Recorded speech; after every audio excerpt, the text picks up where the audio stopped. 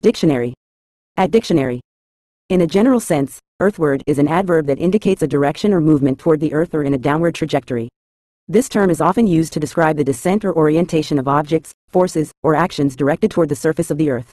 Whether referring to the flight of a bird, the fall of an object, or a general sense of descent, earthward conveys a motion in the direction of gravity, grounding the perspective in the context of our planet. It encapsulates the notion of things moving or heading downward in relation to the Earth's surface, providing a spatial and directional reference in various contexts.